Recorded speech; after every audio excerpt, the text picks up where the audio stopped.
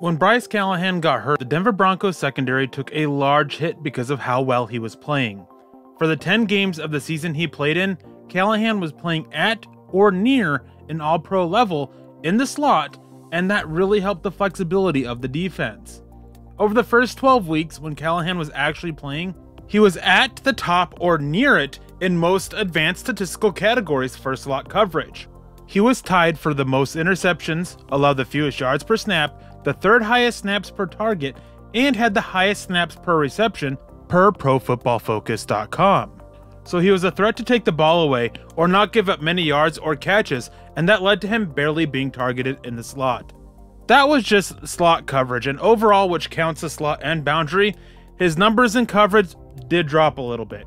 He was tied 7th for interceptions, 13th in snaps per target, and 10th for snaps per reception per Pro Football Focus. Then he got hurt, missed the final six games, and completely derailed his chances for being the all pro corner he was playing towards. Denver could really use him to return to that level this season with him coming back from injury, but that may not be practical. Callahan is going to be turning 30 in October, and the injuries have piled up. But maybe the additions the Broncos have made will help Callahan stay healthy and out there on the field. For Mile High Huddle, I'm Erick Trickel.